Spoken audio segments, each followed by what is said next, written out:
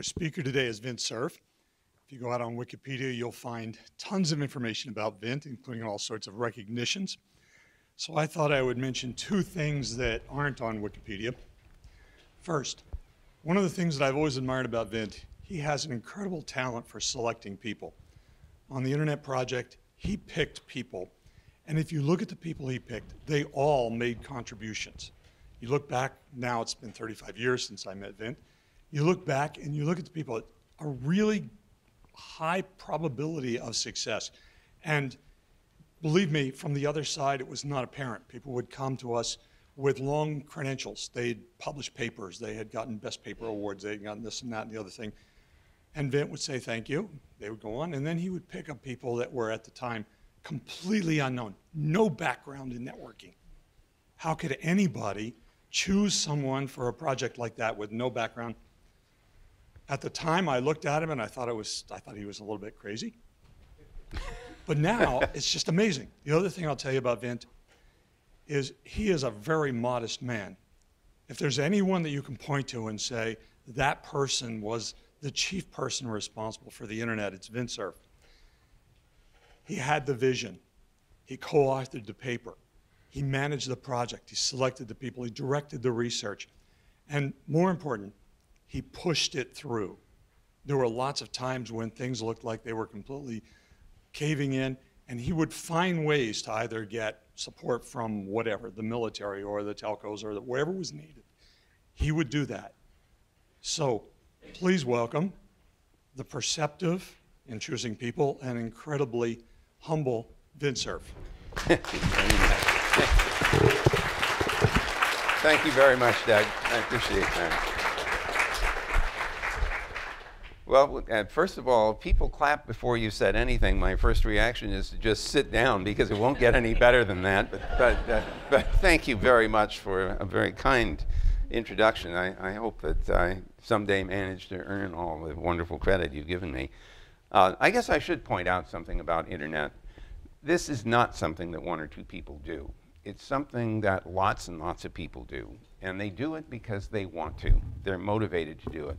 And although I worked hard to sell this idea in the early stages, uh, fairly, I learned very early on that engineering, successful engineering, is not just engineering, it's learning how to sell ideas and get other people to want to participate.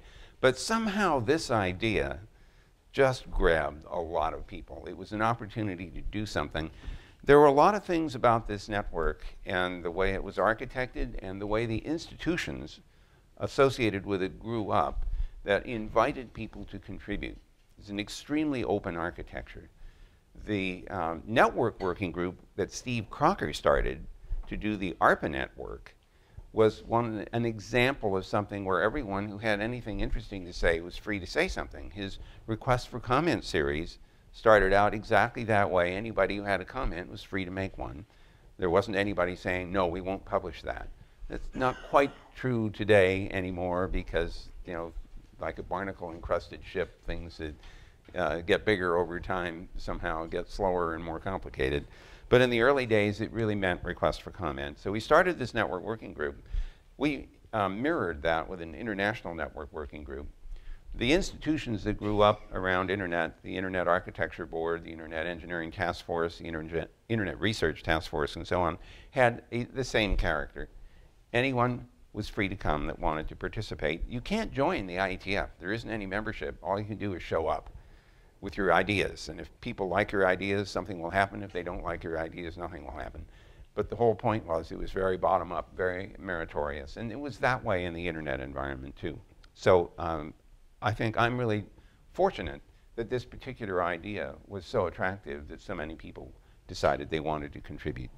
So I'm going to try to um, give you a few factoids uh, this afternoon and, and try to expose some of the issues that uh, continue to face this growing phenomenon, some of which require some serious research. And I'm hoping that uh, somehow out of this little talk, some of you may go off and solve some problems that really need attention that have not yet been solved.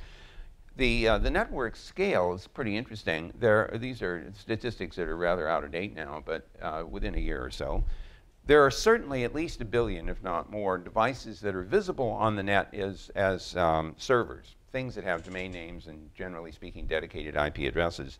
This doesn't count the things that are episodically connected, so laptops, desktops, tablets, and mobiles, and, and other kinds of things, not counting appliances that are increasingly becoming part of the net. That probably adds another two or three billion devices. And in uh, Farnham's slide, I think the implication was that there were at least seven billion devices on the net. That was what one of the figures suggested. Uh, that's a bigger number than anything I've been uh, willing to claim. So, um, but I'm comfortable at about three. On, in terms of the number of users on the net, all, there's no one place where you have to sign up, right? So we really don't know how many people are using it. But the estimates from Internet World Stats say about 2.4 billion users uh, back in mid-year last year. My guess is that it's probably closer to 3 billion now because there are internet cafes, there are people who share uh, equipment and the like, and you just don't quite know how, uh, how many different people are using the same uh, piece of equipment. But even at 2.4 billion, it's a pretty big number. Uh, now, one place where you and I had different statistics was on the number of mobiles in the system. It's now really estimated at 6.5, although you, your 20% estimate for uh, smartphones, I think, is, is as close as I know anyway. So that means that there's on the order of 1.2, 1.3 billion smartphones in the system that also have access to and can exercise uh, the power of the internet. So all of that uh, statistical information tells us that we are penetrating, but certainly uh, by no means uh, everywhere. If I had shown you this slide 10 years ago, uh, the numbers would be pretty dramatically different. North America would be at the top of the list of penetration and absolute number of users, but as you can see, that's not true anymore. The number of users in Asia is now over a billion. Half of them are in mainland China. So I want you to keep in mind that despite all the things we hear about uh, the Chinese uh, firewalls and uh, limitations and censorship and everything else, much of which is true, uh, and maybe even some of the other cyber attacks also, uh, which are probably true, there's a huge investment there in internet. Now I have this, you know, half, cup is half full view about that. I think that the more internet penetrates, the harder it is to keep people from sharing information. And eventually, the society simply has to adapt to this change in the ecosystem. So I, I hope it's like the, uh, the Grand Canyon. You know, it probably took about 400 million years to go from a, from a mesa to this deep valley. Now, I hope it doesn't take 400 million years for the Chinese to get to the point where they're comfortable uh, with the sharing of information. But you know what? Patience counts in this, in this domain. Just get more internet out there, keep in, investing in it, and eventually the population will change and adapt. Now that's what the chief internet evangelist at Google always preaches, and I'm preaching the same thing to you. Europe is about half a billion users, although I've given up making any projections about Europe because they keep adding countries, so the definition of Europe keeps changing. so I don't know what Europe means anymore. North America is probably not going to get much bigger than it already is in terms of population, and we're certainly not going to try to chase you know, the other half of the world to uh, grow our own population which, by the way, lets me offer an aside to something that Farnham talked about, and that's the population of engineers, scientists, computer scientists, and so on, which we are, it, our numbers are lacking against demand. We're not necessarily going to solve the problem solely by taking the steps that Farnham mentioned, which is why uh, the whole notion of H-1B visas and the ability to let uh, talented people come into the country to participate and to help grow that uh, technology is really important. We, we need to do both. And the wonderful thing about that particular system is that the people that come in from that path almost always come in with very high credentials. And so you end up with an increasingly uh, enriched workforce. The rest of the statistics you can see here, Africa continues to be a big challenge in terms of penetration, but these numbers are a little misleading because the number of mobiles in Africa is about double uh, this number. It's around 350 to 400 million, and some number of those also are internet enabled. And for many of those folks, their first uh, expo exposure to internet capability may be through a mobile, and it might even be uh, that way for quite some time to come. So uh, that's what the, uh, the penetration looks like. By the way, if you're interested in making an international business, that sits on top of the internet and uses it as an infrastructure. These numbers are important because that's where your market happens to be right now. There are things that are happening to this net, in spite of the fact that Bob Kahn and I are going to celebrate the 40th anniversary of the design of the internet this year. We, uh, we started work in spring, literally 40 years ago, and finished the first design in the fall of 1973 and shared it with the International Network Working Group at the University of Sussex in England, and then published a paper in May of 1974 called A Protocol for Packet Network Intercommunication. So we've celebrated, or we will celebrate 40 years of that design. The internet's been operational since January of 1983, so it's been around in some form or other functionally for 30 years. In spite of all that age, this system is still evolving. And among the things that are changing, in uh, June of last year, those of us who were capable of serving IPv6 or delivering IPv6 capability turned it on permanently. So the, in some sense, that's the 21st century internet. You know, you guys are using the experimental internet that was designed in 1973. It, the problem is it got loose. yeah, I thought that what was going to happen is that if it worked, that we would then build a production version. But the experimental version got out there, and IP version 4 penetrated all over a place. And then we ran out of IP version 4 address space. And, you know, uh, I, Bob Kahn and I were talking to the Princeton Club yesterday, and the question came up, you know, how come you didn't get the numbers right? And I said, well, let me explain. It's 1973, and we have just finished building out the ARPANET, which is a fairly, you know, it's fairly expensive nas national scale thing. And we thought, okay, so how many of these would you normally build in any country? And we thought, well, maybe two, because there, you know, there should be some competition. And then we said, all right, so how many countries are there? And there wasn't any Google to, answer, to ask that. Uh, so, so we guessed, and you know, we're computer guys, so we guessed the power of two, seven bits, 128 countries. It's probably wrong, but anyway, that's what we picked. Okay, so that's two times 120, that's 256 networks. And then how many hosts, you know, would be on each net? And in those years, the kind of hosts that we were using were big time shared machines that didn't get up and run around. You couldn't carry them out in your pocket or roll in, in a rolling bag. They had to be in an air conditioned room. So we thought, okay, go for broke. 16 million computers in each network, 24 bits, that's 32 bits. So we figured, you know, that ought to be good. enough for an experiment. It's 4.3 billion terminations. Well, obviously, it worked okay for about 30 some odd years, and then poof. So now if you have any opportunity to get somebody to wake up and implement IPv6, please do. Because the ISPs have been going around saying, oh, nobody's asking for it. And of course, none of the users even know what an IP protocol is. They shouldn't have to ask for it. The ISP should be saying, we'll do this under the covers. You'll never notice the difference. All the domain names will map to either one. So that's, that's what's happening now. Speaking of domain names, um, for many, many years, the domain names were all written in Latin characters only. A through Z, 0 through 9 and hyphen. And then we finally realized, looking at those other statistics of where is the internet going, that there are a lot of languages that are non-expressible in domain names or in, um, in Latin characters. And we ought to allow domain names to be expressed in other scripts. So for about six or seven years, the IETF uh, went through several cycles of work. Now you can use Unicode to represent domain names. And this is a harder thing than it looks, and I won't go into all the details, but uh, there are all kinds of issues about some things look the same in one language than another, and so you could get very confused by seeing mixtures of Russian, Greek, and Latin, for example.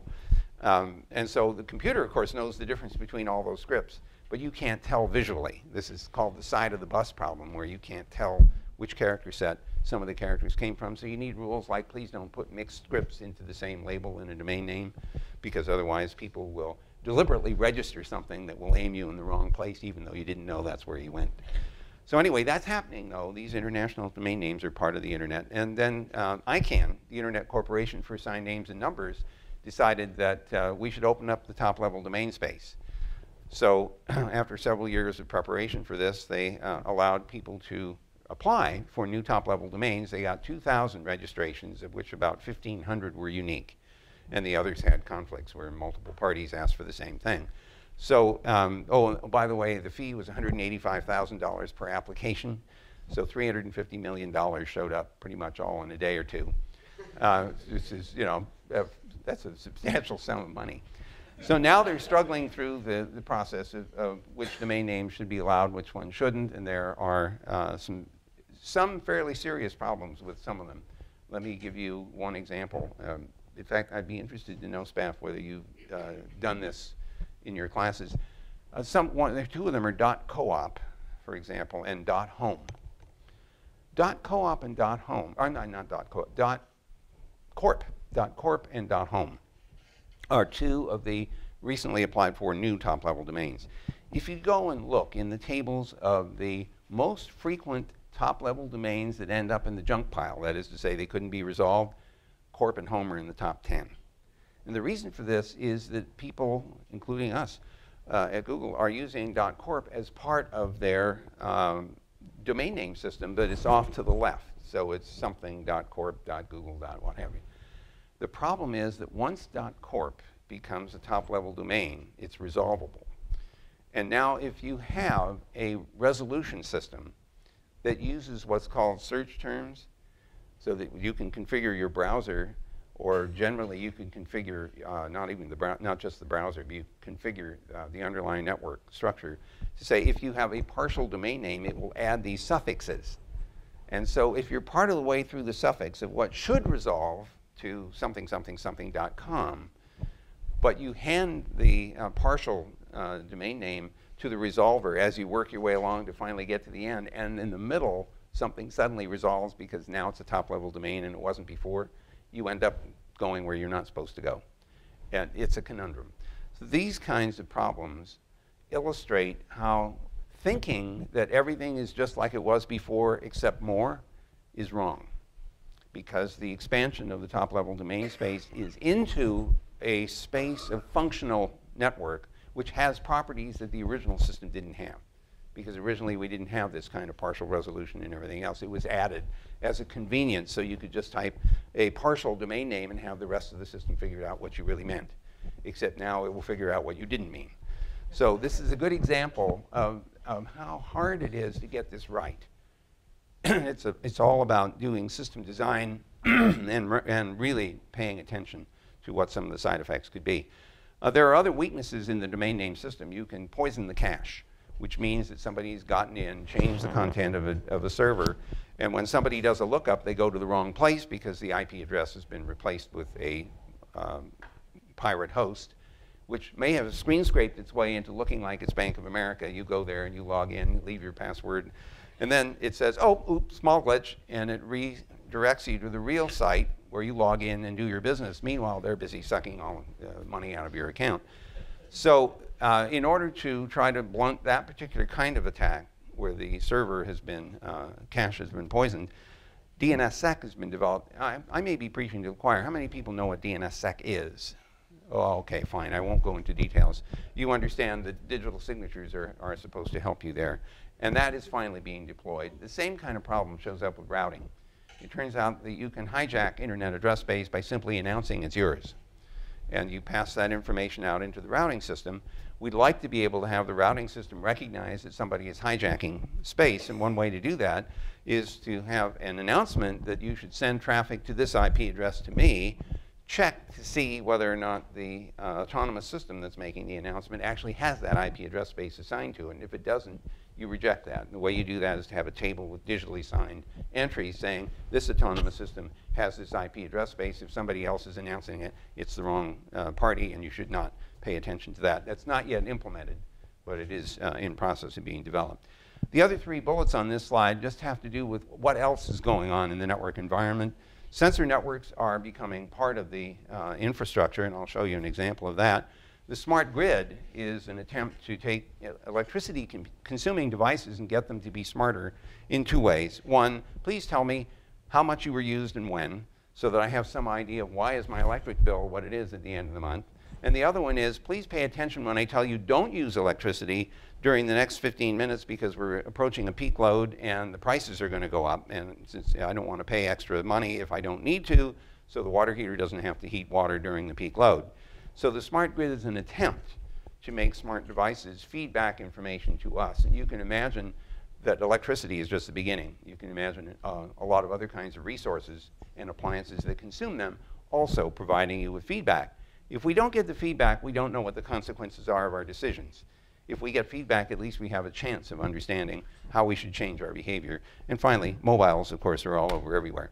Here's some examples of devices that have shown up on the net. And I must confess to you, over a 30 year period, I've been a little surprised at some of the things that are actually part of the system.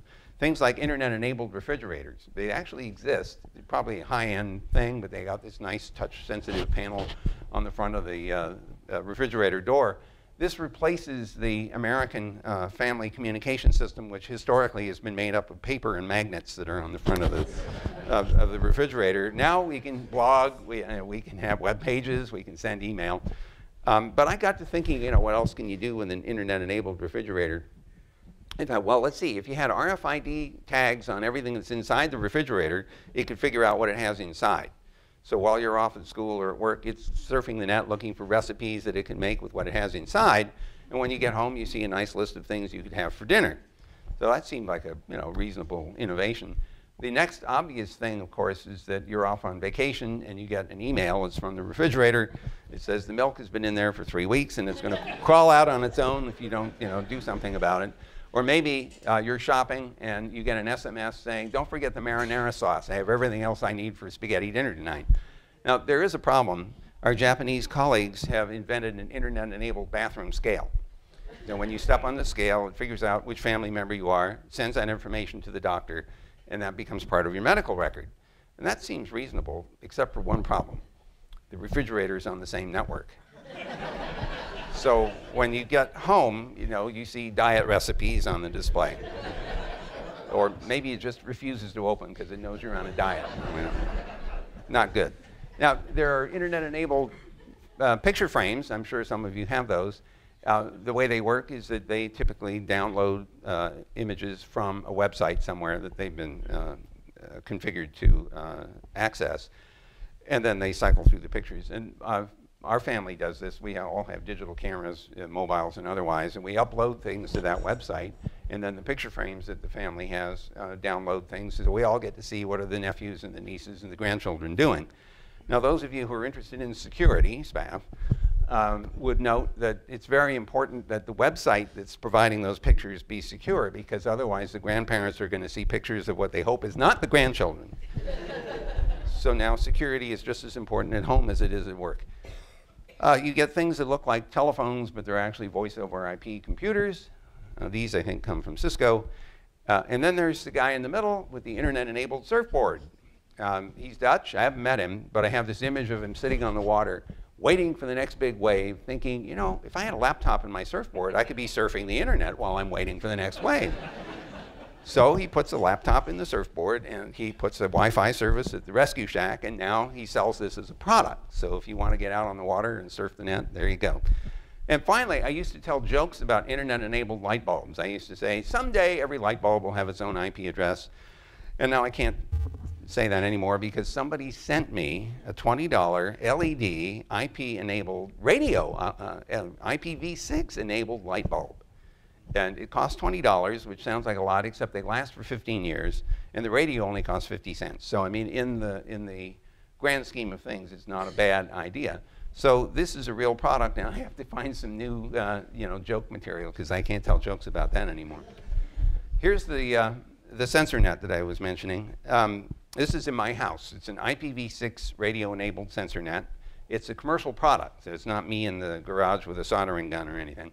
Uh, it comes from a company called Arch Rock, which, which, was acquired by Cisco, I guess, a couple of years ago. These little devices run on two, dry, uh, two uh, AA cells. They run for about a year. Uh, in my house, uh, each one of them is sampling the temperature, humidity, and light level in each room in the house. And every five minutes, it sends that information through a self-organized uh, radio network to a server down in the basement. So this is what, what is sometimes called, it's not mobile, uh, but sometimes you hear about MANET, mobile ad hoc networks. This is more like a stable uh, ad hoc network, but it is dynamic because the radio connectivity changes over time, depending on what interference there might be. So these devices are essentially self-organizing. And each room in the house now is monitored. Now I did that on purpose because at the end of a year or so, when it comes time to evaluate the air conditioning uh, and heating system and everything, I have real engineering data as opposed to anecdotal data about how well heating and ventilation and air conditioning work. Now, one room in the house is a wine cellar. And this is a very important room for me, and I want to keep it below 60 degrees Fahrenheit and above about 30 or 40% humidity to keep the corks from drying out. So that room is alarmed. And if it, temperature goes above 60 degrees Fahrenheit, I get an SMS on my mobile. And this has happened a couple of times when there's been a power failure. Uh, so um, I called the Arch Rock guys and they said, do you guys make actuators? And they, uh, they said yes. They said, are they strongly authenticated? Because there's a 15-year-old next door and I don't want him messing around with my wine cellar. And they said yes. So that's a nice little weekend project. But then I got to thinking, you know, I can actually tell if somebody's gotten into the wine cellar when I'm not there because I can see the lights have gone off and on. But I don't know what they did in there. Well, remember the refrigerator? What if I put RFID chips on each bottle? Then I can do an instantaneous inventory to see if any bottles have left the wine cellar without my permission. So I was explaining to an engineer friend of mine what a you know bright or design this was, and he said, "There's a bug." He said, "What do you mean there's a bug?" He said, "Well, you could go into the wine cellar and drink the wine and leave the bottle." so now we're going to have to put sensors in the corks. And as long as you do that, you might as well uh, sample the esters to see whether or not the wine is ready to drink. And before you open the wine, you interrogate the cork and if that was the wine that got to 75 degrees, you know, when, when the cooling system went off, that's the wine you give to somebody who doesn't know the difference. so this is a very practical thing to have around the house. What I do want to emphasize, though, is that this is going to be very common. That this kind of sensor system will be normally built into most new homes, partly for purposes of environmental control, partly possibly for security, and also for feedback, just to give you some sense for what's going on in the house, what uh, are the consequences of the choices that you make. Now, as I think about this large scale number of sensors, there are some really tough problems. We are talking about billions of devices, hundreds of them in any one place. And when you start thinking about how do you manage all those things, in, uh, especially in a residential environment, I mean, it's one thing to do this in an industrial setting where you have a bunch of engineers uh, who are supposed to go off and figure out how to make this work. But if you want to make this kind of thing useful in a residential setting, you have a whole bunch of really tough problems to solve. Now, I don't have time to go through all these in detail. I wish you would look at them, though, and my slides will be available. I'm seriously interested in people's ideas about how do you architect something that, can, that will scale to billions of devices how do you keep them safe? How do you keep them from having their information polluted or having the devices that are controlled through those systems uh, controlled by somebody that you didn't authorize? So these are actually really hard problems to, to figure out how to solve. And I think that they deserve a lot of attention because we could use these kinds of systems if we had them available and we had designed them adequately. Uh, this is just more about the kinds of problems that uh, you're likely to, uh, to encounter. And this is, I'm sure, uh, a very, very incomplete list of the kinds of questions that we should be asking ourselves.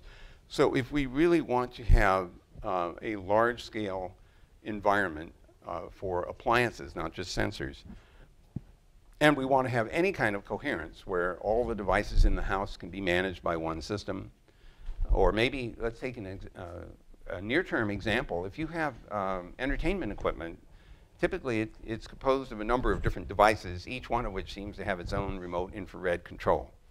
And if you're like me, you fumble around trying to figure out which infrared control is the right one. And when you finally figure it out, that's the one with the dead battery. So, so uh, the solution to this is to put them all on the local network, give them all IP addresses, and use your mobile as the controller and to get even more interesting, if you do this right and if you have adequate uh, authentication and control, access control, you can imagine turning to a third party to say, will you manage my entertainment equipment for me? I just want to go to the website, click on the movies I want and the music I want. You go figure out how to get it onto the various appliances and into the car and into my iPod and so on. Uh, and, and you just take care of that for me and for a small fee, you know, I will be relieved of the responsibility of trying to move things all over the place. But that requires some coherence and it requires strong authentication, and it requires uh, the ability to uh, add and remove devices from the pool in some convenient way. So this is a non-trivial kind of challenge for all of us. Here's more. I'm, I'm, I'm just going to skip through here because I don't want to beat this to death. Um, the smart grid, I've already mentioned, it started out as a, a project about five years ago, sponsored by the Department of Commerce and the Department of Energy. And the National, uh, the National Institutes for Standards and Technology, which is part of the Department of Commerce, organized a smart grid interoperability panel, which they've now handed off to be a private sector uh, nonprofit organization to try to establish standards for uh, appliances that consume electricity and will accept control and will accept indications, for example, that they should not use power during uh, a, uh, a, peak load. Now, uh, Doug Comer and I were talking on the way up here from the airport. Apparently, these guys uh, who are doing the interoperability stuff have gotten a little overboard because the communications capacity of most of these little tiny devices is pretty small. Uh, they're using 6LoWPAN and some of the other, um, or maybe even Zigbee 2. Uh, and these have small packets and not a whole lot of data rate because it wasn't expected that you were going to go watch video transferred over these control systems. So uh, if you want details, you should see Doug because they need help. Uh, I think they, they have not thought their way through from a system point of view uh, exactly how to make this work. But nonetheless, the, um, no pun intended, the energy is there to try to get these devices into a state where we can manage them effectively. Uh, whereas, whereas today you just flip switches off and on and, and they're uh, essentially as dumb as the old telephones used to be. So there's, again, a bunch of issues there associated with that. Now, I, I uh, said in the title of this talk that I wanted to get into the political side of things. And so let me just tell you that now that the internet has penetrated so deeply and is in such use uh, uh with such diversity, there are uh, countries that are beginning to be concerned about the impact of the internet on the population. They're also concerned about the impact of the internet on their own polity. Uh, we even are concerned here in the US. That's why you see so much legislation coming up about cybersecurity. You see issues about intellectual property protection. All of this is in great turmoil all around the world. There's an organization called the Internet Governance Forum, which was formed out of the World Summit on the Information Society starting in 2003 to 2005. And in 2006, the first IGF, Internet Governance Forum, was held. It's a multi stakeholder organization, in some ways, a lot like ICANN. So the private sector, the academic and, and uh, technical world, uh, civil society, and governments are all participating in a discussion about internet issues. And these range everywhere from privacy protection to uh, crime to uh, effective use of the internet for all kinds of applications, e-commerce, education, e-government, and so on. They don't make decisions, but what they do is surface issues. And because it's not a decision-making body, it's actually valuable because you're not trying to force somebody into agreeing on the language of a communique at the end of the meeting. You're just trying to get people to be aware of what the issues are. Now, someone else is going to have to figure out how to solve some of the problems that are surfaced, and there are institutions that might be able to address some of the issues. The World Trade Organization, for example, or the World Intellectual Property Organization, among others. Or we may even have to invent some international organizations to deal, for example, with some of the cybersecurity questions that have been coming up. Unfortunately, we have uh, a, uh, an organization called the International Telecommunications Union, which started out as the International Telegraphy Union in 1865. Their job was to make sure the telegraph worked okay. And then the telephone gets invented, so they now become the International Telephony Union, and then eventually they call themselves International Telecommunications Union. And then what happens? The telephone system starts to kind of migrate away into and, and be submerged into the internet because the internet doesn't care what it carries. It's just packets of bits. It's one of the interesting features of the design is that the internet doesn't know what the applications are which is great because it means if you want to invent a new application, you do something at the edge and the net hasn't got a clue. So the telephone world is suddenly confronted with voice over IP, which is free. And you know, it's hard to compete with free. So they are now trying to, uh, the ITU as a governance organization is trying to find a way to take uh, more and more responsibility for internet. And some of us think that they can't even spell IP. So we think it would be better if we stay with the IETF and with some of the other institutions that have grown up around the internet in the first place. I want to uh, also draw attention to, we, talked about privacy, uh, some of the things that, uh, that you mentioned earlier, Fran, uh, and many others that are on your mind, and the, and the newspaper articles about information that gets lost on, on uh, laptops or information that has been stolen uh, by penetration. Privacy is a big problem. It's a big issue. But there's another one, and I become, I have become um, I guess, a little concerned about the language around uh, internet and the problems that it poses. We talk about cyber crime, we talk about cyber security, and security sounds, you know, leads you towards thinking about national security, national scale attacks, responses at the national level. And the reason I uh, am uneasy about the language is that not everything that happens in the net is a crime. Not everything that happens, every bad thing that happens was intentional. Not everything that happens is a national scale attack.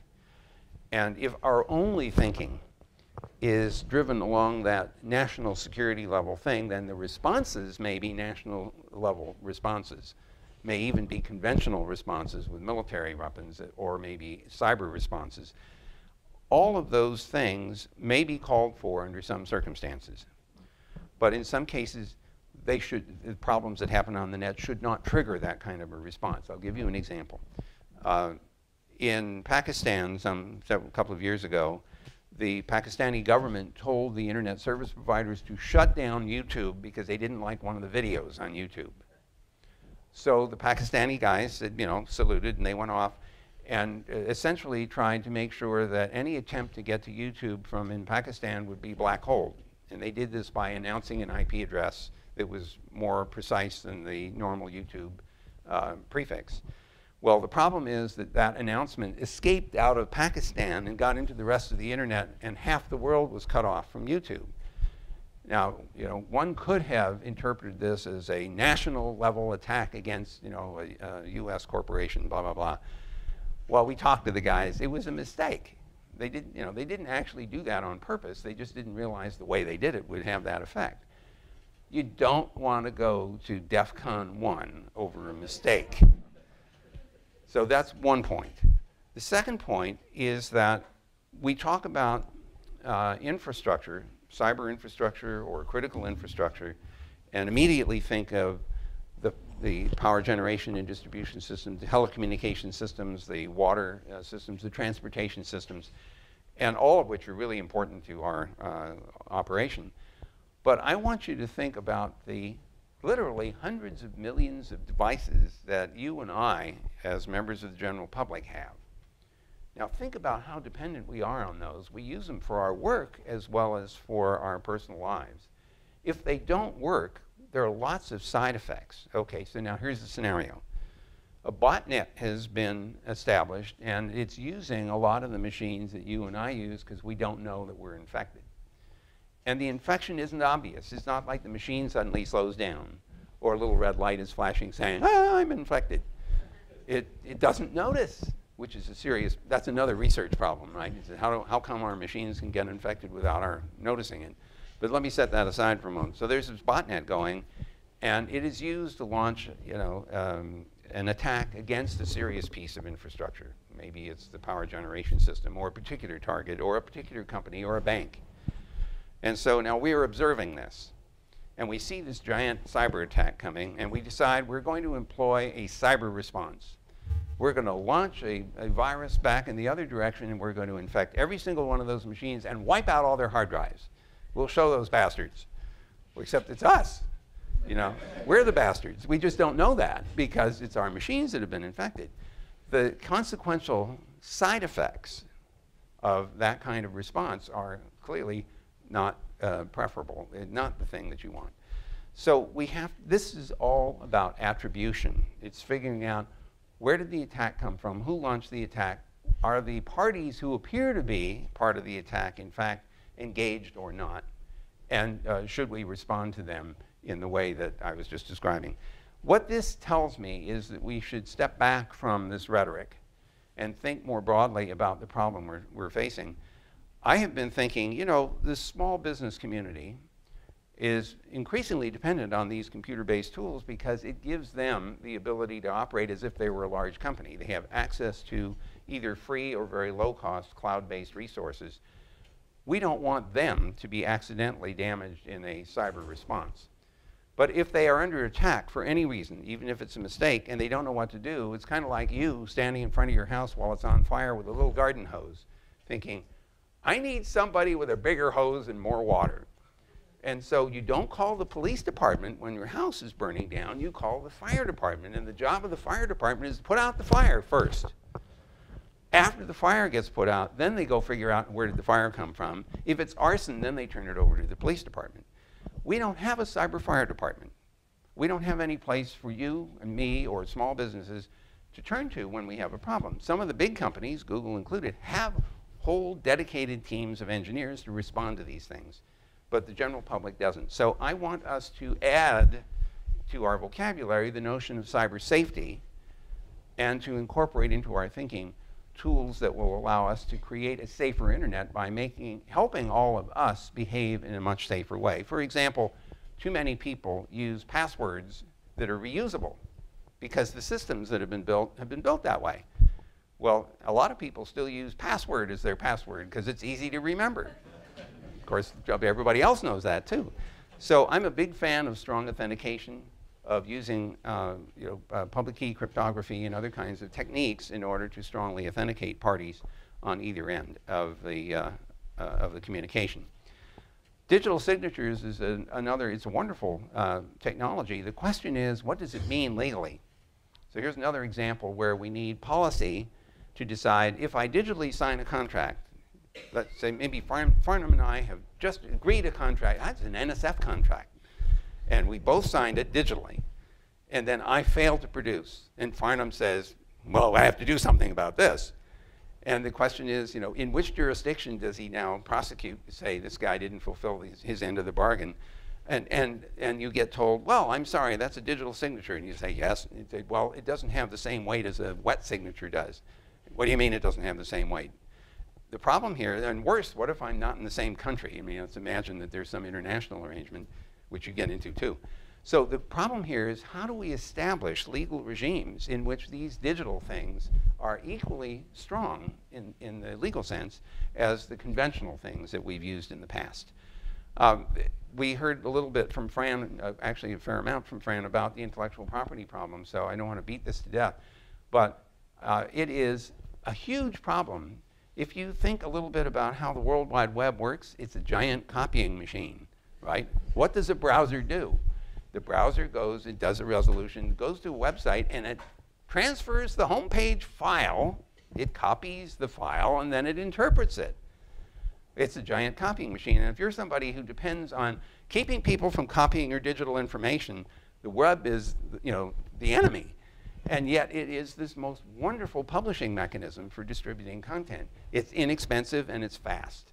So we have this terrible collision of an old environment that depended on preventing people from making physical copies of things and a new environment where all those things are manifest in digital form. And we have to do something about that. The something that we need to do is not PIPA and SOPA and things like that. And the reason is that some of those propositions, even though they were undoubtedly well intended, if they were implemented, had all kinds of really bad side effects, including blowing up DNSSEC which was completely unacceptable. So some of us, Spaf included, made some pretty noise, loud noises about, don't do that. Please step back and let's talk rationally about what can and can't be done, but let's not destroy everything. Now, uh, Fran talked a lot about preservation of digital information. I've been using this term digital vellum to mean an environment in which digital information is preserved. And here's the reason. Um, I can recall doing something uh, foolish. I was talking to some librarians about digital technology, and I was all excited about it. And I came trotting in with my CD that had, you know, seven billion bytes of information on it. And uh, I'm gassing away on this subject. And one of the librarians uh, excused herself, went into the stacks, and came back with a 1,000-year-old vellum manuscript, which she put on the table and opened up. It's beautifully illustrated, you know, just illuminated manuscript. And if you can still read Greek, you know, you could actually understand it. And uh, then she turned to me and said, and how long will this thing last? And I said, well, I'm not so sure, actually. And then, and then uh, she didn't quite go to the next step, but somebody, some you know, engineer in the audience uh, did me in and said, even if that you know, CD lasts, the reader for it may not be around when you want to read it. And I said, well, thanks a lot. I really appreciate that. but it's true. It's true. We have these wonderful technologies and high density and everything else. The trouble is that we have problems preserving their readability simply because the devices that read them uh, don't stay maintained. I mean, I still have some five and a quarter inch floppy disks and three and a half inch floppy disks and one eight inch long disk, which is, you know, museum piece. Now, my problem here is not the issue of preserving the bits. The problem is, what do the bits mean? This is a whole other problem, and it's a really tough one. Let's imagine for a minute, you and I create content all the time using applications that produce complex files, whether it's a, a, text document or a display of some sort, or maybe it's a game, maybe it's a simulation, maybe it's a really complicated uh, file, which when interpreted produces some real interesting interactive depth of analysis of, uh, of uh, let's say, reactor data. The problem now is if I want that data to be interpretable, I have to maintain the software that knows what it means. And that software may run on a specific set of operating systems. So you can see the you know, shifting sands here. What if the next version of the application doesn't know how to interpret the bits that were previously produced by the earlier version? And the company that makes that software will say, well, we couldn't justify backward compatibility forever. And you know, you think, well, several bad words because you had all this investment in stuff. Or maybe the next version of the operating system doesn't support that particular version of the application package. And when you say um, uh, to the person, uh, the company that makes the application, are you going to upgrade it so it runs on the new operating system? They say, no, we're going to sunset the product. More bad words. And then you say, well, can I have the source code? And they say, no, because the next version, half of that version uses the source code from the previous one, and I'm not going to give it all away to you.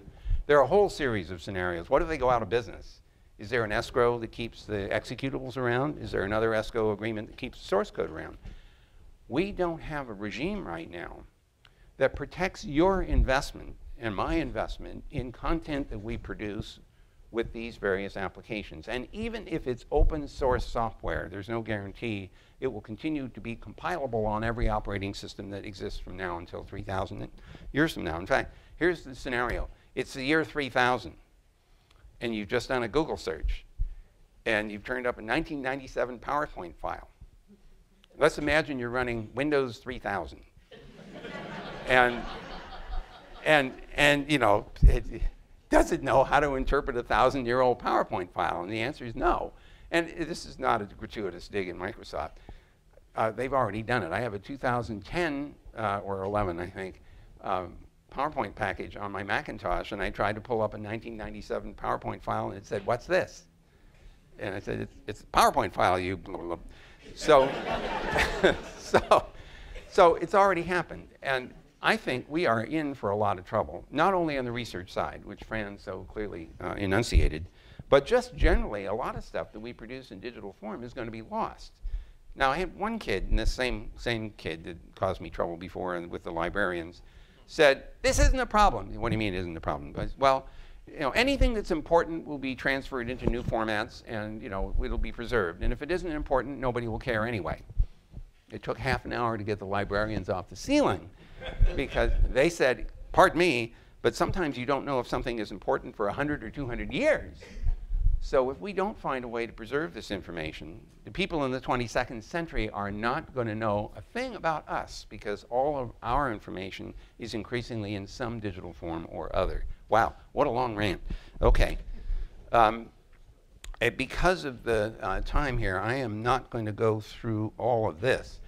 But I want to pick up a couple of things here because uh, uh, these are problems you can work on. Um, OpenFlow is just something I want to draw your attention to. It's a, a development that came out of Stanford in the last few years. Uh, it's an extension of what we would normally think of as routing. Normally what routing does is look at a packet, look at the address, uh, addresses in the packet and say, where is this supposed to go? And then looks up in a table and says, I'll send it to whatever you know, is available to get to that destination, or I'll throw it away if there isn't any path. But what if you didn't just take the bits out of the address field? What if you could take the bits out of any place in the packet?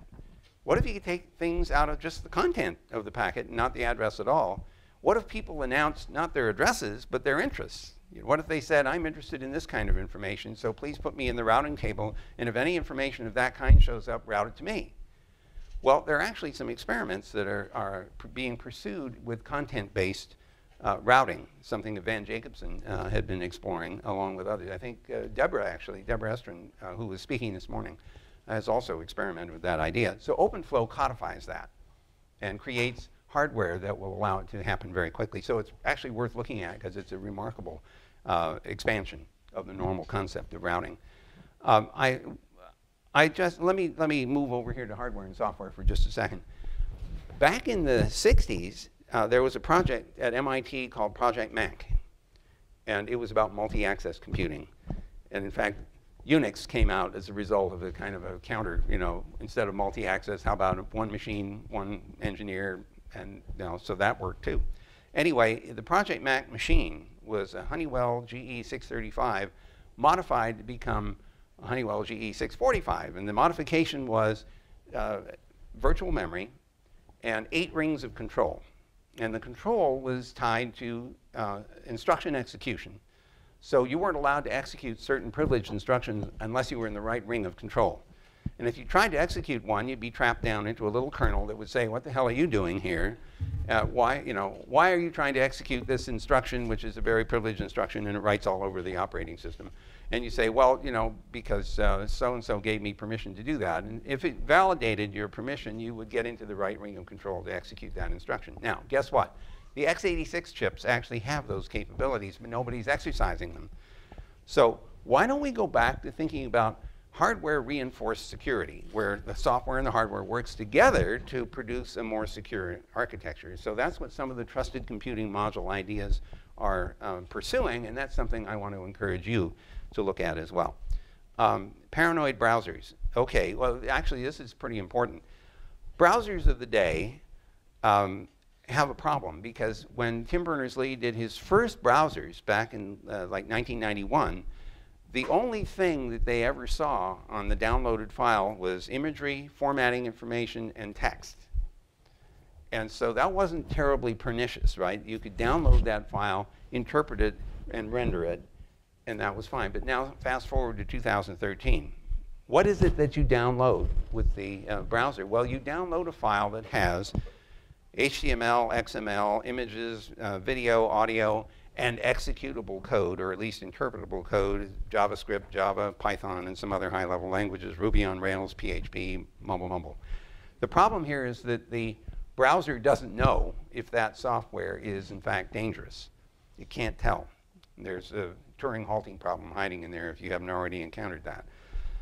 You can try, and we do at Google. We actually try when we uh, index the World Wide Web and we look at every single web page our software looks at the web pages and tries to figure out, does that web page have malware on board? And if it does, we make a little notation in our index. And if somebody uses the uh, search engine and happens to click on a, on a um, branch that would go to that infected web page, we pop up a big bright red page saying, we don't think you should go there because there may be malware on that site. Of course, we don't always get that exactly right. Now, the, the problem here is that uh, it's impossible to tell for sure that, uh, that, that, uh, that the malware exists. But at the very least, we should be making the browsers increasingly paranoid about the software that they interpret in order to protect us from that. So sandboxing and things of that kind are really important. I've been trying to get the guys making the um, Android operating system to rename it Paranoid, so that, but the marketing guys say it's a really bad idea. So. Um, I'm going to skip over this part. I apologize for this, but it's the only way to get through the part I really want. Um, how much time do I have left? I mean, five minutes or something? And then there's Q&A, right? Uh, okay. Well, let me try to summarize this. Something funny happens when you go from the atoms world to the bits world. The economics of the system change. So the cost of creating paper, if you're in the publishing business, printing paper and distributing it has cost. Creating bits and distributing bits has cost too, but the costs are dramatically different.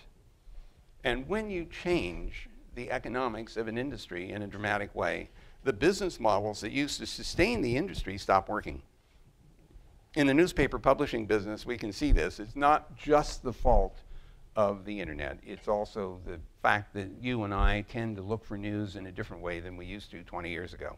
If you look at the subscription rate of newspapers, it's been going down for a long time, well before the advent of the World Wide Web in the 90s. But it is going down. And the problem here is that their advertising revenue model, which worked beautifully for a very long time, in an incredibly powerful industry, stopped working. They used to have the cheapest way of distributing a large amount of information to everybody on a regular basis. It was called a newspaper. And because people were interested in the news, they would read it. And if they were going to read it, then they could also see advertisements, which you could sell. And that created a perfectly good business model. Now, Google invented a different business model. It said if you're going to go search for something, or you're going to look at a web page, then we can show you ads. And if we can figure out an ad that you might be interested in better than a fixed ad that everybody sees, that might be good. And then we let people bid on getting the ads up on the various pages. That's produced a pretty good business model. Everybody tells me they never click on any of the ads. Nobody clicks on the ads except that we just generated $50 billion worth of business last year, so there must be something going on. That is a, that's a good business model, but it's different from the one that drove journalism. The reason I, I uh, feel so strongly about this is that journalism is actually, good journalism is important to democracies. It is part of the whole transparency system. We have to find a way to reinvigorate and support good quality journalism. I don't know what the answer is. I mean, maybe Google should buy the New York Times or something, but, but the fact is that we need to find a way to fix this problem by helping the journalists find their way to a successful business model because without good quality journalism, we don't have the kind of democracy that we should have. Uh, the, the same thing, uh, let's talk about MOOCs for a second. That's the world's worst acronym. Uh, massive op online open courses. courses. Um, I was talking to uh, John Hennessy, president of Stanford University, who is a big fan of MOOCs. Now, you, your first reaction is, are you crazy? I mean, hand away all this stuff for free? And, you know, what does it do to the business model at Stanford, let alone Purdue? Well, here's the answer, or an answer. And it might be wrong, but here's, here's the way I'm looking at it. Let me see. I got 160,000 people in the class. If they each pay $10, that's $1.6 million.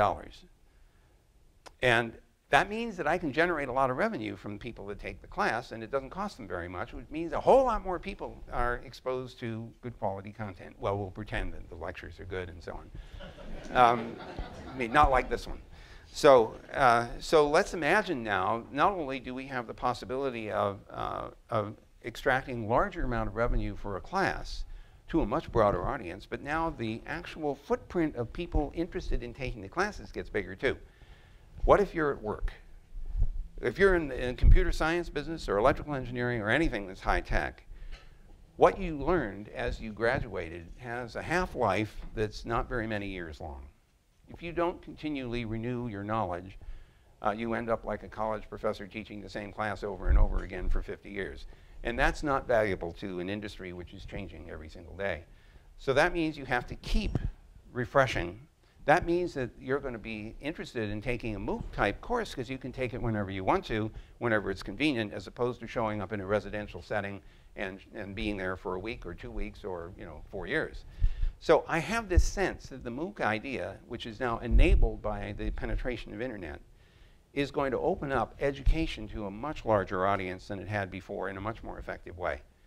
Now, some of you who've been around for a while will remember that there was Sunrise Semester on television you know, and you get up at five o'clock in the morning and try to take notes from this, you know, crappy TV uh, show with the lecturer who you couldn't ask questions of. I think we have something a little better now in the MOOC structure, and I believe that there will be business models that allow it to work. But everybody, including Purdue, is going to have to figure out how to make that work. Okay, so let's, uh, let me, this is the last bit. Uh, and I figure I should give you an update on where we are on this. Now, the first time I started talking about the interplanetary extension of the internet was 1997. And people told me privately later they thought I had, you know, gone over the top. and, you know, obviously, you know, something, reading too much science fiction or something. Uh, actually, what I was thinking then was, let's see, Bob and I started working on the internet in 1973. It's now 1997, that's almost 25 years later. And I was asking myself, what should we be doing in 1997 that we will need 25 years from now? And after thrashing around for a little while, I thought, well, you know, we're trying to explore the solar system and we're sending spacecraft out, you know, to Mars in particular. Uh, remember in 1997, the Pathfinder was the first successful landing on Mars since the previous few, many years back.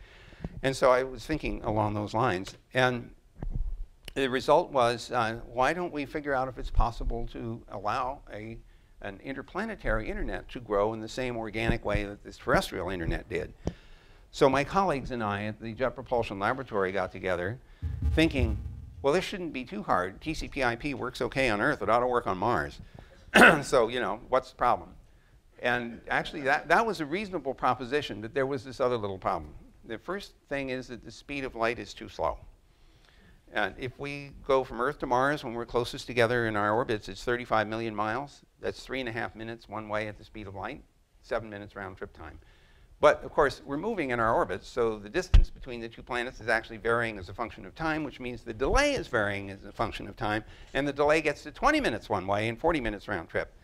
TCP IP didn't get designed for a 40 minute round trip time, you know. The flow control in particular is, you know, doesn't work too well because it was designed to say, roughly speaking, I've run out of room, stop. And if the other guy hears you in a few hundred milliseconds, that works okay, you know, have some buffer available. But if it's uh, 40 minutes before you, you know, 20 minutes before he even hears it, and 40 minutes before the effect shows up, the packets are flying at full speed and they're falling on the ground and it doesn't work. There's another problem, not just the variable delay. It's called celestial motion, the other kind of celestial motion. The planets are rotating, and we haven't figured out how to stop that either. so if there's something on the surface of a planet that you're talking to, like that little Pathfinder, the planet rotates and you can't talk to it until it gets back around again. Same problem with the orbiters. So we have disruption. So here we are looking at a variably delayed and disrupted environment, which is very different from the internet of today. So we decided, okay, we have to develop a suite of protocols that can handle that. We call them the bundle protocols. We're not very good about names. I mean, if we'd done Kentucky Fried Chicken, it would have been called Hot Dead Birds. So, so Anyway, the bundle protocol is sort of the interplanetary equivalent of IP layer protocol. We, uh, we've gone through four iterations of design. We actually have this stuff running. It's running on the space station. It's running in the orbiters on Mars. It's running on the rovers on Mars, including the Mars Science Laboratory. And it's running on a spacecraft called uh, EPOXI, which is rendezvoused with two comets. It's in orbit around the sun. So it's starting. It's being standardized by the Consultative Committee on Space Data Systems, which is made up of all of the countries that are spacefaring, including ESA and NASA and JAXA and Japan and the Russians and the Chinese. So what we are uh, anticipating is that there will be standardization of these protocols among all the spacefaring nations. Here's what we hope will happen. We hope that people who launch these spacecraft will either use the protocols in the primary mission of the spacecraft or at the very least be capable of running the protocols after that spacecraft has completed its primary mission and can be converted into a relay in a store and forward network. So uh, what we are imagining is that as these new spacecraft get launched over time to, to do different missions, that they can be repurposed to grow this interplanetary backbone to support both manned and robotic space exploration. Now, you might think that you know, that's uh, ambitious enough and over time during the 20, 21st century, uh, we will see this happen. But uh, this is what we hope will happen, that we eventually will see a growing uh, interplanetary backbone. But now there's another rationale for doing this. DARPA let a contract last year to a consortium to examine the design of a spacecraft that could get to the nearest star in 100 elapsed years. That's 4.4 light years away, Alpha Centauri. Now, right now we have a little problem because the current propulsion system would take us 65,000 years to get to Alpha Centauri, which is six times longer than our whole civilization has ever been around. So yeah, it's a little long even for a DARPA experiment. so, so, so the first problem is what kind of propulsion can you uh, find that will reduce that time to 100 years? In fact, what you really want is 50 years to midway so that you can slow down because otherwise you get one picture, you know, and that's it. And so you, you need to be able to slow down to get into orbit at the other end. So we think that probably some form of uh, high power nuclear, nuclear powered ion engine may turn out to be enough to get up to 20% the speed of light. Now, that's all still being examined. But then there's another problem, is navigation.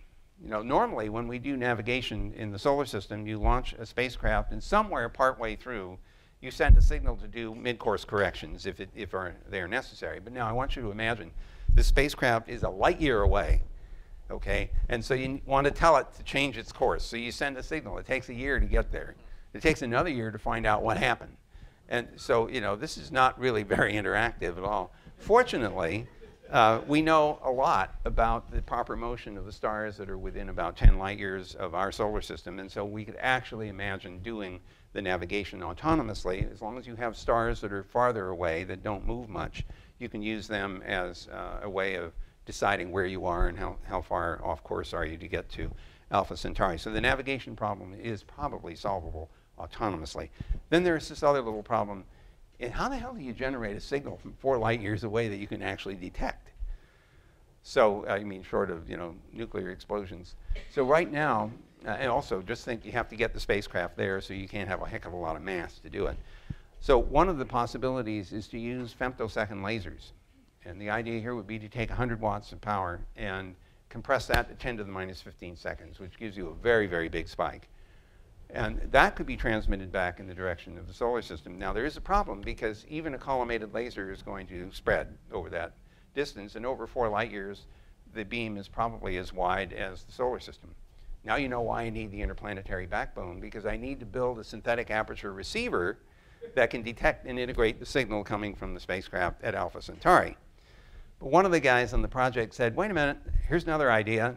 What's your idea? And he says, well, you know how gravity bends light? Yeah. And he says, well, if you get 550 astronomical units away from the sun, you are just at the beginning of the focal point of the gravity lens of the sun. So if we could get a spacecraft out to the right place, 550 AU or more away, we could collimate the beam coming back and, and use that as a way of uh, detecting the signal. So that's the up-to-the-date interstellar mission. We're still far away from um, uh, J.C.R. Licklider's original vision in 1962 when he sent a memo out to his friends saying, I want to talk to you about the intergalactic network. That's going to be somebody else's problem. So that's the end of my story. Happy to do Q&A, but thank you for allowing me to celebrate the 50th anniversary.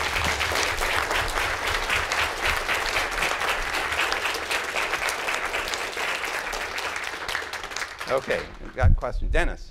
As a person who knows virtually nothing about the technology of the internet, I have You should talk to Doug Comer over there. Right? I have all sorts of opinions about how it should have been done differently. Oh, okay, all right. I would like to know if you, being a person who does know about the technology, have ever thought, if I had it to do over again, would I have done something differently, and what would it be? What would it be? Yes. Repeat. Oh, I'm sorry. Okay, the question is, uh, you idiot, what would you have done different now? I'm at an. What, what, would, what would I have done differently if I'd known better? Um, uh, let me give you a cheap shot answer, two, two cheap shot answers. One, I would have paid more attention to security. And second, I would have put in 128-bit address. Now, in fact, in, in all honesty, both of those things were considered. In 1977, as we are approaching the fourth iteration of the Internet uh, protocol design, the question came up, should we have 32 bits, 128 bits, or variable length? And Danny Cohen was pushing really hard for variable length addresses. The programmers said, ah, what a dumb idea. We'll waste all these cycles trying to find the fields in the packet because of the variable length of the address field. And so we threw that away. Um, be, remember, computers of the time, even in 1977, were just a little slower than they are today. So, um, so we stuck with fixed length addresses, and then came this question, should we do 32 bits or 128? Now, this is a network which hasn't even been turned on other than in a very experimental form. And I thought, okay, let me do the math. To the 128 is 3.4 times 10 to the 38th. Uh, that's a number only the Congress can appreciate. and, and, and, and, then I thought, my God, you know, that means every electron in the universe could have its own web page. That's an anachronism, obviously. So it, I, oh, and the other problem is that during that time period, we were doing Echoplex with TENEX machines and, you know, TOPS 20 machines. That means every packet carried one byte of information and everything else was header. And so I thought, holy crap, if I put 128 bits times two, source destination addresses in the packets, uh, the overhead would be crazy. It doesn't pass the red face test, right? So we said, we're not doing that. Besides, it's an experiment. And you know, if it works, then we'll go do the production version. so we're doing the production version now with 128 bits of address space. On the security side, um, I actually was very, very sensitive to the fact that this was a military, a project sponsored by the military. And so we absolutely knew that if they used this technology, it would have to be secured. So in 1975, literally two years from the beginning of this experiment, I started working with the National Security Agency on the design of a secured internet. And we developed packet cryptography. We developed a whole bunch of other things. There was only one little problem. It was all classified. And the result was that I couldn't say anything to my colleagues who were part of the, you know, the network working group, where's the international network working group, which included people from Europe and Asia and everything else. Couldn't say a word about what that design looked like. And so it, the, thing, the thing just took off before there, there was, oh, here's the, here's the other irony in all this. 1977 was the year that um, uh, Whit Diffie and I'm sorry, who's this? Uh, Marty, Marty, Hel- uh, Marty Hellman. Whit Diffie and Marty Hellman published the first paper about public key cryptography in 1977, just as we are about to standardize everything. And they didn't have anything working, they just had this incredible idea that the mathematics could work. So by the time anything comes out of RSA and everything else, we're already standardized and well on our way to implementation. So we didn't get to use that either, although if it had been invented in time, it would have been, and if it had been made public, then it could have been used to solve a lot of uh, problems. But that doesn't mean, interestingly enough, that we can't retrofit some of these ideas into the existing net. NSF sponsored the Future Internet Design Project, FIND. And there were a number of clean sheet ideas that came out of that. In fact, the, um, uh, the, the uh, OpenFlow ideas that came out of Stanford were part of that uh, Future Internet project. So I uh, am very excited about looking at what's come out of the future internet design ideas to see how much of it could be retrofitted into the system. Some people will say, oh my God, you could never redo this. Well, let me remind you that in 1973, there was one worldwide network called the telephone network. And, and at that time, if somebody had said, we're going to redo the telephone network, people would say, you're crazy, you can't do that. Well, guess what? The telephone network is about to be redone by internet. Maybe something else will come along that's better than internet. Maybe one of you will invent that. That would be cool. Okay, next question. Yes, ma'am. Yes, um, I noticed this is being recorded. Will it be available on the internet so that my daughter who lives in Seattle can watch it? Well, that's a good question. Uh, it's up to uh, the. I'm, I'm happy that there's nothing in here that, uh, that that's a problem. Thank you. So you're welcome to uh, to That's put it up. gift that keeps on giving. Um, okay, so that's it. If she wanted to know if it was going to be recorded and available, and it will be. So uh, what else? Two in the back. Okay, what do we got? Th- I'm doing this in case I have to. It's all right. It's all right. It's all right. Relax. I, I may have to lip read. So Yeah, go ahead. Um, do you think that the internet will be, uh, will control too much on our life? Uh, imagine if, um, someday, uh, everything in my house is controlled by the internet. Right. Let's say, um, the government want to control the, um, the rate of people. So, um, let's say many of the people are overrated. So, let's say, um, on one day I have to, I, I want to eat pizza, but the refrigerator refuses. Yeah. Right. Yes. And The refrigerator my says you can't. refrigerator, And, and I call, um, call the pizza, and it's, it's on the internet, so the telephone refused me to call the pizza. Right. And then, and then I, I walk to the pizza, um, but the door lock is Right. controlled by the internet. Because so your, your IP address doesn't work. So, so th- this is basically the nightmare scenario. Uh, I have a homework assignment for you to read. Seriously. There's a, a story by a man named E.M. Forster, written around 1906. It's called The Machine Stops. And it's about a society in which a machine takes care of them. They live at home, they're fed automatically, and could be, you know, not fed automatically. And the machine breaks one day and it doesn't start up again. And the question is, what happens to that society? Now, you're describing the other scenario where the machine keeps working and, it's, and, and it, is, it is not under your control, you are under its control. And the question is, will, uh, will the internet ever get to that point? I hope not. I hope not. Um, on the other hand, you raise a pretty interesting point. I mean, let, setting aside the extreme cases that you were describing, we are very, very dependent now on our mobiles for finding, you know, uh, finding, getting information or finding our way around, navigating, and so on, communicating with our friends. And one does wonder what happens to a society that becomes very, very dependent on these kinds of technologies. And I have a, I share a certain uneasiness with you. But uh, Doug and I were chatting about this topic in the car, and one observation I would make is that if you were to go back about 10,000 years and ask yourself about uh, our society, it was very agrarian. It, it was, we, we were just beginning to invent the notion of agriculture, which caused us to stay in one place rather than being nomadic.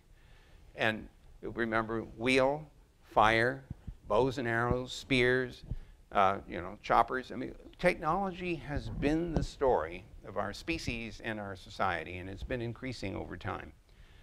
We haven't collapsed as a result of that, although you can imagine the debates. Um, the storyteller in the village discovers somebody has invented writing and is really upset about this because now nobody will remember anything. They'll just write it down, and, his, and he'll be out of a job. You know, you can, you can imagine some of these extreme scenarios and the worries that people have. We haven't destroyed ourselves yet. But, you know, we probably have the capability to do it. And if you're worried about global warming, which is a whole other rant, uh, we may be on the way to doing exactly that. So that's more scary to me than the network problem that you were describing. But it underscores, your question underscores why we need to be aware of the risks and why we each need to be articulate to other people, especially legislators, about some of these risks because if they don't understand how this stuff works, they're going to make laws that don't make any sense. Now, they already do that in other domains, but, but in this one in particular, uh, could be very harmful. So I think I, I, your point is well taken, but it's up to us to make sure that scenario doesn't happen. So, Doug, I think we're way over time, aren't we? So, thank you very much for the opportunity.